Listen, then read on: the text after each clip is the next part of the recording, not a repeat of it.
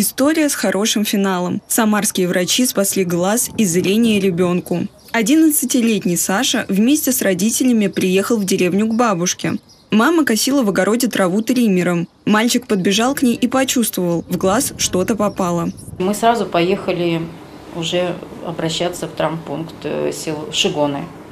Э, В Шигонах нас посмотрели, сказали, что вам срочно нужно ехать э, в Сызрань. Мы тут же поехали в Сызрань, а в Сызрани нас посмотрели и сказали срочно госпитализация э, Ярошевского. В Самарской больнице мальчика уже ждали. В неотложном отделении Сашу принял хирург Михаил Артемов. Он же провел операцию. Установлен диагноз проникающее ранение роговицы. Это один, ну вообще травмы, ранения – это одни из самых тяжелых состояний в офтальмологии. Э, Необходимо ранение обрабатывать, то есть э, проводить первичную хирургическую обработку и ушивание раны. Мы с ним поговорили, он оказался довольно смелым молодым человеком. Решили делать операцию под местной анестезией.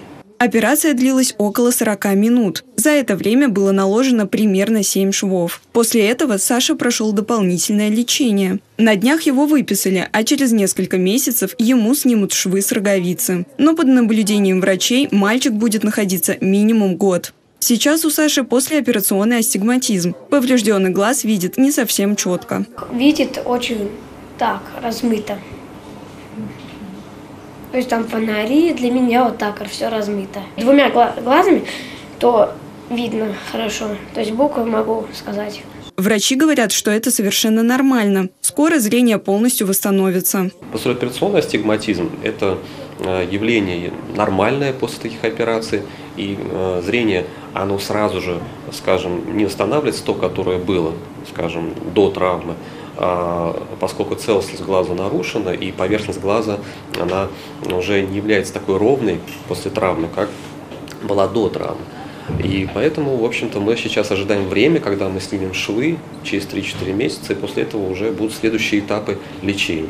Успех лечения ранений и травм глаза зависит от своевременного обращения пациента. В случае Саши все сложилось наилучшим образом. В данной ситуации очень приятно, что э, ну, все, все все сделали правильно. Быстро приехали, быстро, правильно провели первичную хирургическую обработку, быстро, хорошо, правильно провели лечение, э, адекватно наложены швы. Врачи больницы имени Ярошевского призывают родителей не оставлять детей без присмотра во время летнего отдыха. Рекомендуют разъяснять правила поведения во время игр на улице и обеспечивать безопасность во время дачно-садовых работ. Елизавета Прокопенкова. События.